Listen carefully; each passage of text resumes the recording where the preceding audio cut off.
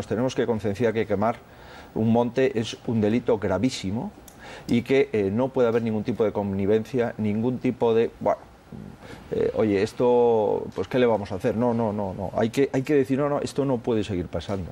Y tenemos que enfrentarnos a buscar una solución entre todos y desde luego yo, mientras sea presidente de la Junta, esto no lo voy a consentir y por eso digo que en Galicia hay 50 veces al día que gente quiere quemar Galicia. 50 veces al día en las, los últimos, eh, en las últimas eh, semanas. Y hay una cosa sobre la extinción de los incendios. Mire, el, casi el 80% de los incendios se extinguen antes de que lleguen a una hectárea de afectación.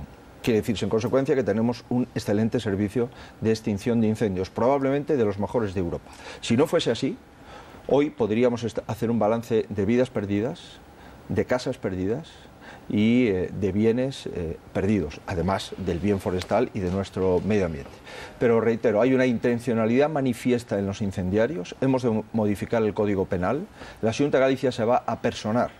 Cada vez que se detiene un incendiario, va a pedir prisión preventiva a ese incendiario y le va a pedir al juez que inmediatamente le impute también los gastos de extinción del incendio y también los gastos, lógicamente, las indemnizaciones de los bienes que han quedado calcinados, ya sean eh, propiedades u otro tipo de bien forestal.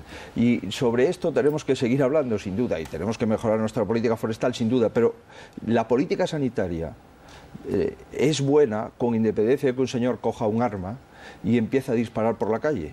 Y la pregunta seguro no es qué tal atendemos a los heridos en los hospitales, sino la pregunta es, oiga, ¿cómo usted no detiene a las personas que están eh, provocando atentados en las calles e hiriendo a las personas? Por lo tanto, la raíz de todo esto es que hay muchos incendiarios y además tenemos, por supuesto, que mejorar nuestra política forestal. Pero cuando la hora de los incendios, la hora fundamental de los incendios es entre las 11 y las 12 de la noche, no hay muchas posibilidades más que lamentablemente aceptar que tenemos incendiarios en nuestra sociedad y que no somos capaces de cogerles.